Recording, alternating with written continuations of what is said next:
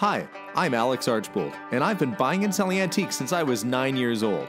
From basements to scrapyards, I'll look just about anywhere I can to find lost antiques and collectibles. And sometimes I'll go big and buy everything.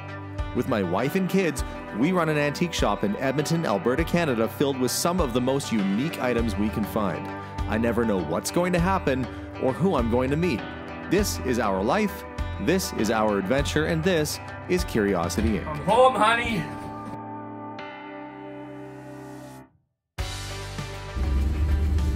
Hi, guys, and welcome to today's episode. I am driving in the ambulance, and that means one thing I've been out on the hunt for antiques, and uh, it's kind of crazy out there right now. Um, there's pandemic scares, there's things happening. Uh, I'm being cautious, but I'm still going out and I'm, I'm meeting with folks uh, where, you know, you can tell people are distancing themselves, but um, I didn't distance myself from antiques this morning.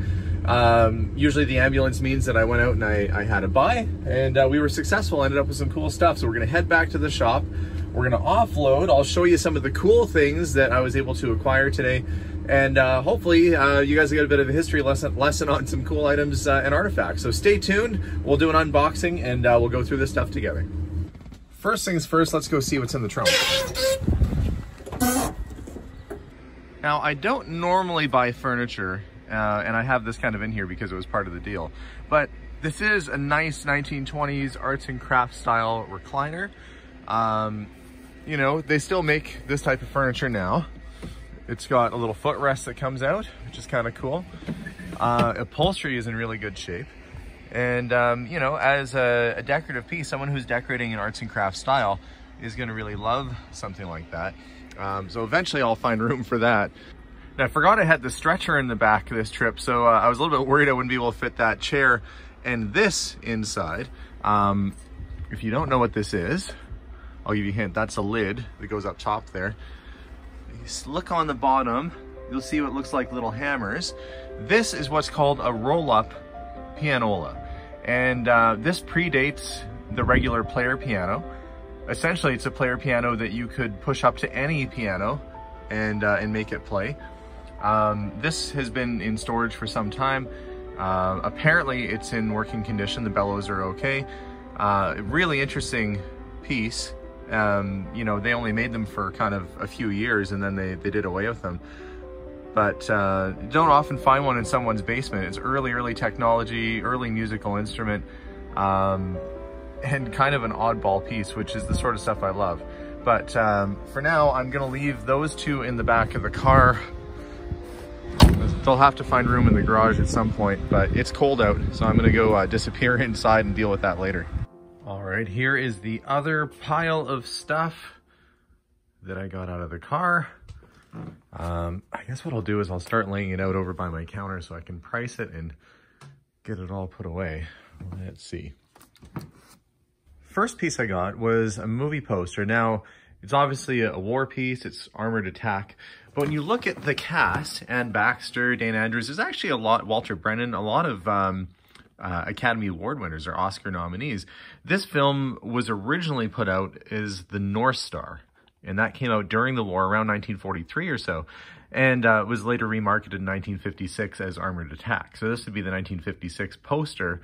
Um, but it's kind of curious. A lot of war movies came out after the war. This is one that was actually uh, filmed and put out during the war and um, you know they uh, they changed a few things and put some different lines in and kind of changed the plot a bit. But uh, this came from a movie theater, and it looks like someone has done uh, you know a very rough job. Maybe this is how the theater would have displayed it at some point. It looks like they had it so you could undo these screws, and maybe put a different poster in every week. Uh, it doesn't look like there's another poster behind. It'd be kind of fun if there was like six or seven posters in there, but it looks like it's just the one. Uh, that's what they call a one sheet. So that's your typical movie poster size called the one sheet. Condition, not really great, but in terms of a military graphic, uh, for people who collect that sort of stuff, it's an interesting item. Probably worth somewhere around, you know, even in that condition, 125 to $150 or so, just as it is, just as an art piece. Now, you might, hopefully you're going to think this is cool. I thought it was cool. And you're going to find out why I think it's cool. Okay, So you look at it, it's a metal box, really well put together. So you might say, okay, well, what did this carry? There's a little hint on the front. RKO Distributing Company of Canada. And there's other uh, labels that have been posted underneath here. So what did this carry? This is an original United Artists Corporation uh, film canister. But the cool thing about this is that this predates um, uh, talkies. This is a silent film era. Judging by the size of the can, uh, the manufacturer of it, this would have carried the very first types of movies. Now, there's no film inside of it. You see how that drops down? Sort of a, a stepped hinge there. Um, really, really neat piece. Uh, I don't know where else you're gonna find something like this. They can't. This came out of an old movie theater. The gentleman I bought it from you uh, runs a bunch of movie theaters, and he bought a building that this was inside of. So that is silent film era stuff. And as we look through the inside, there's uh, other bits that could have come from the theater as well. A nice uh, old speaker grill, and those that represent sort of pipe organs kind of neat. I don't know what uh, radio, I think if you just had a speaker, you could probably upholster that and put that on. These are kind of fun. See if I can hold it up and get some light through. They need, they need some serious cleaning. But it is the uh, moon and the stars on a sun-shaped lamp. You can see it's pretty dirty. That would have, uh, this would have likely been in, uh, you know, on a wall, a sconce, um, a decorative piece, very whimsical. And it could have been from the silent uh, movie era as well. There's another one. Looks like there's a couple in here. There's two. Yeah, these look like they've been sitting around for a while. There's three of these. Can you see the moon right there? I have to wash that I'm going to wash one and I'll show you what it looks like once it's all cleaned up.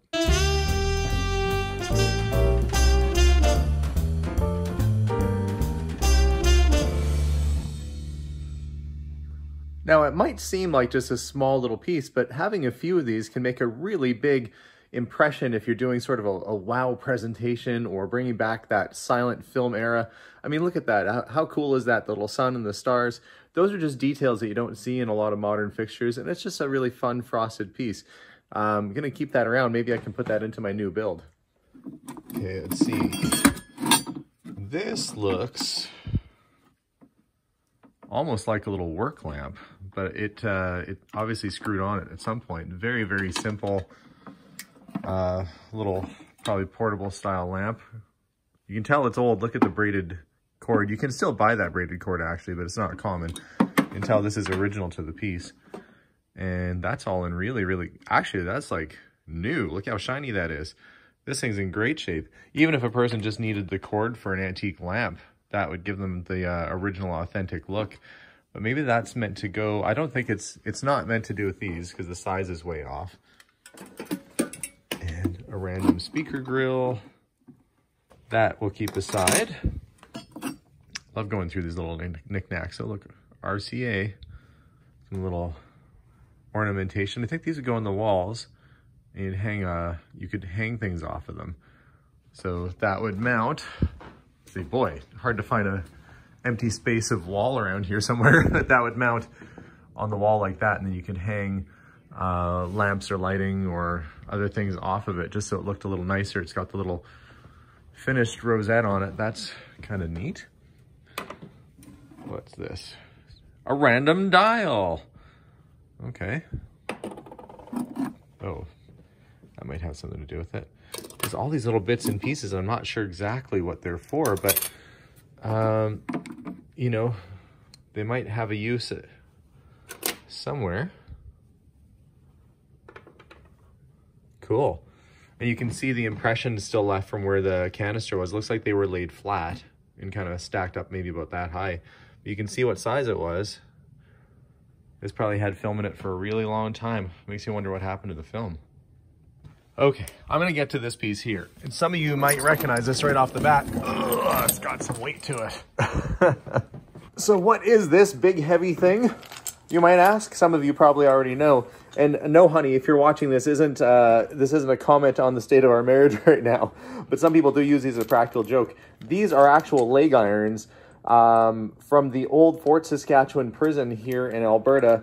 Now, they don't use leg irons like this anymore, uh, but, you know, I can see having that attached to your foot would really not be much fun. This is where there's a demonstration gone wrong and I accidentally locked myself on. How do you explain this to your wife when you get home? What happened to you today? I got leg irons strapped to myself. Uh, okay, so that goes around your ankle. And then you've got this massive, I guess it would go around the back probably so that you would drag it. What an awful thing. I mean, truly. Um, and yeah, this thing, I have no idea what it weighs. It's awfully heavy. I guess it would have to be. Now, they reproduce these. Um, there are replicas out there. But essentially, that's like a big concrete or cement ball attached to a chain going through it. Uh, and it runs all the way up to your leg. Now, I know what this is because they had it kind of hanging from their roof when I went and looked at their stuff. I'm gonna see if I can find a hook around here to hang it and show you guys what it looks like all assembled. Before electricity during Victorian times, you may have something like this in your entranceway or above your dining room table, a very fancy and ornate chandelier. You can see it's got cut crystal. So when you light it up with the oil lantern and get your wick going, that would just give a nice glow this beautiful sort of floral design, and it's in remarkable condition too, considering its age. Now, uh, oil lamps have been a little less on the collectible side lately, but something like this will still always hold its own. Now, some people can, you can electrify them and you can make it so it, you know, if you have a heritage home and you want it to work on electricity, you can run a, a wire into it. This one has never been modified and that's actually what's kind of rare about it. Most of the ones you see out there have had uh, some modern electricity put into it. This one is untouched and we're gonna leave it that way because it is a historical piece. That's quite nice. Kind of neat too. Manning Bowman. You never know what was used in a theater or in a home, but a lot of this stuff did come from movie theaters. Nice little uh, Art Deco, really early electric clock. Um, nice brass finish on it. So plug it in. It looks like it's in good order. Cable looks good. May as well plug it in and see if it works. Now, when I was there, I just kind of threw a bunch of stuff I thought was cool into this bin. Um, this piece right here is what they call a PAM clock, or Canadian Neon Ray would make them too. It's not quite a uh, double bubble clock, but it is a glass advertising clock. This one advertising a restaurant that was called The Bagel Tree. Um, looks to be in good shape. The second hand has detached, and it looks as though somebody has tried to uh, glue it on there at some point. But, um, you know, it is a, a functioning clock. You put the lights in the back here and that lights up real good. You can actually get uh, different sort of faces. People reproduce them, um, Orange Crush, Coca-Cola, etc. You can put in there. Um, that one's just kind of neat as it is, and it's in good condition other than that secondhand. Um, so we'll we'll hang it up. It looks like the the threaded portion's okay, so it's just that one one piece right there might need some reattachment. We'll just hang that on the wall with its friends. You can see I've got a few of these advertising clocks and advertising signs. They're always kind of fun things to look at. So uh, I'll eventually get some light bulbs put in it. For now, that'll keep it safe and out of the way. There's also this lantern inside. Now, um, it has a big reflector built on the back, and the, it makes me... I don't think it's Railway. It is Dietz, though. Dash lamp. Dietz D beacon dash lamp. It's a curious piece because it's built almost like a, uh, a camping lantern, but with that big reflector, you'd think it's more for the front of like a stagecoach or, you know, um, a wagon or something along those lines. Peculiar item and kind of cool. And then a couple other little electric clocks in here too. Um, don't know if any of those are working yet, but that's, you know, maybe I'll have some time now to kind of clean this up. Might actually look good if I just take the paint all the way off and just get it back to that nice sort of uh, aluminum that's underneath there. So a couple of clocks. What's this? Oh, Screen News Associated. Well, these are little film cans that would have had, let's see, FDR trailer. So Franklin Delano Roosevelt, maybe? Could be, um, you know, old newsreels that came in those and they'd play it before uh, theater. It's a fun thing about buying stuff that comes out of an old movie theater. You just never know what's going to be in there. I can imagine these might have been in like projection rooms. It's too bad that glass is cracked. Mind you, I think it's the same diameter as that clock, but kind of a nice Westclox, Canadian made. Fun little piece. Very Art Deco looking. And some random bottles, which I'm not a, a collector of bottles myself, so I don't get as excited as our friend Bob does. Uh, nice old master lock. It's got the key. Another razor. That's early safety razor. Doesn't have the, uh, it looks like it might be nickel plated brass is what it looks like. Not in the greatest condition at all, but it might be good for parts. And this is a, uh, a rest for a sad iron. Of course, a sad iron being the uh, type of iron that you heat up on your stove. And uh, when you heated up your iron and it was red hot after coming off your stove, you'd be ironing your clothes with it and you need somewhere to put it. So that would sit on your counter and you put your iron on top so it wouldn't wreck your surface. So it's a, an iron rest. And that's a nice ornate one too. There are people who collect these based on what images they have. That looks like a nice crown. Let's see. Pottstown, Pennsylvania. Hmm. Made its way up here to Canada. Well, now there's an old thermostat. This is a um, thermostat for your heater for your house. There's how you set it, and then it has a little thermometer on there. You could use it as just a thermometer too, but um, if you're doing a restoration of an old home, you want it to look correct, that's kind of thing you want to have. Now this box is nothing but rolls for that uh, pianola.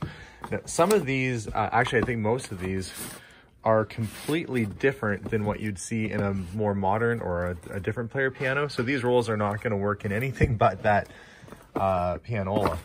But uh, some of these Let's see what music we got.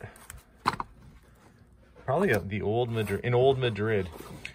The Barber of Seville. I always think like Looney Tunes with some of these old uh, classical songs they got used in so many cartoons. But a lot of classical music. Um, oh, that's a good box one. There's got to be 10, 20, 34. There's got to be about 60 of them in there. So that's a healthy box full. And then it looks like there's maybe parts that I'll have to be very careful to keep these together because uh, that might be something important for that machine. Uh, we'll keep that box aside until I know what it's used for. And if you ever see these in your grandma's attic or your grandparents' place, um, it looks like a suitcase, but it's not. Let's open it up. I'll show you what it is. Some of you probably already know what it is, but we'll open it up and show you. It's a gramophone, portable gramophone, or grafonola. Um, the idea was you'd have your little crank here. It uh, would go in the side, right, that out of the way so we can see it goes in the side. No idea if this thing works or not. This is what you take out on a picnic. And, okay, well, we'll crank it a little bit and we'll see if we actually get, look at that. And it still works. So it's got a, a needle on it. See if I have any 78s around. okay, apparently I don't have any 78s kicking around, which is crazy. Usually I do. But um, judging from the condition of this, I would say it's a working piece. Um, still lots of fun for collectors. There's a spot right there to put your extra needles. And look, it has the needles in it still. So this thing probably got put away. Uh, that's the brake right there. So that'll stop it from going. And to uh, take your crank out, you just go in the opposite direction, like that. Crank comes out and goes in the little carrying spot, and away you go. Uh, and there was two of them. Now this one, uh, you can take, you don't need electricity or power or anything, it'll work anywhere. That one's a little different.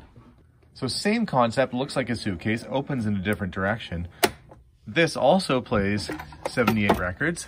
And look at that secret little compartment there. That's where you'd put them. That's where your records go. Kind of fun. This one's made by Columbia. Yeah, Grafonola. That's what they called this model. And it's electric. So um, where the other one was hand crank, this would have been one of the very first electric models that came out. But look, I guess the idea was you'd plug it in and then this kind of gives it a bit, bit of a kickstart to get it going and then the electric motor would take over. I'm not going to attempt plug it in because the cable does not look super great, but a nice rare early piece of electric music history. So a lot of cool finds like the antique gramophones, uh, but the top two items that came in for me this week were probably the United Artists silent film era um, movie can. That's just so cool. And where are you gonna find something like that? It's really, really neat. And of course, the old ball and chain.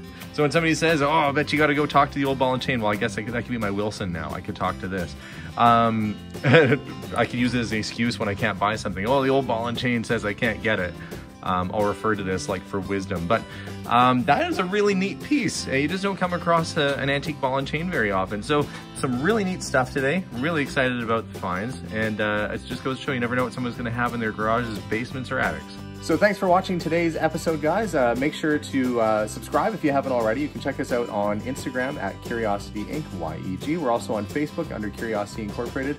And uh, stay tuned for more episodes. We'll see y'all soon, and bye for now.